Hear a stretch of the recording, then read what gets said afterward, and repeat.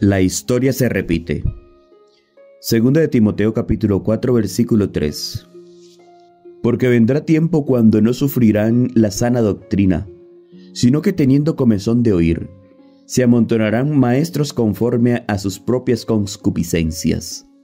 Muchos proponen que las tinieblas intelectuales y morales prevalecientes durante la Edad Media favorecieron el esparcimiento de dogmas supersticiones y la opresión de parte del papado, y que la difusión general del conocimiento y la aceptación casi universal de los principios de la libertad religiosa prohíben un reavivamiento de la superstición y la tiranía. Es verdad que una gran luz intelectual, moral y religiosa está brillando sobre esta generación. Desde 1844, la luz del cielo ha brillado desde la puerta abierta del templo de Dios. Pero debe recordarse que cuanto mayor sea la luz conferida, tanto mayores son los engaños y las tinieblas de los que rechazan la palabra de Dios y aceptan fábulas, enseñando como doctrina los mandamientos de hombres. Satanás incitará la indignación del cristianismo apóstata contra el humilde remanente que conscientemente se niega a aceptar costumbres y tradiciones falsas. Cegados por el príncipe de las tinieblas, los religiosos populares pensarán como él y sentirán como él. La libertad de conciencia, que ha costado tanto sacrificio, ya no será respetada.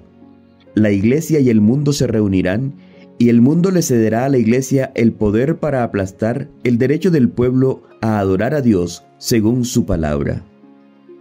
El decreto que se proclamará contra el pueblo de Dios en el futuro cercano es similar al decreto de Asuero contra los judíos en el tiempo de Esther en algunos aspectos. El edicto persa surgió de la malicia de Amán contra Mardoqueo.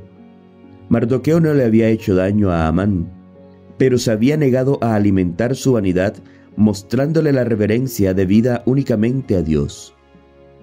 La historia se repite a sí misma. La misma muerte magistral que conspiró contra los fieles en épocas pasadas, ahora se ocupa en obtener el control de la iglesia protestante, pero por medio de ella, condenar y producirle la muerte a todos los que adoren el sábado idolátrico. No tenemos guerra contra simples mortales como podría parecer.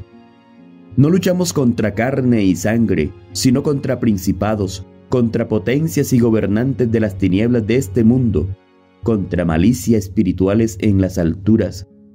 Pero si el pueblo de Dios coloca su confianza en Él, y por la fe depende de su poder, las artimañas de Satanás serán vencidas en nuestro tiempo, de manera tan notable como en los días de Mardoqueo.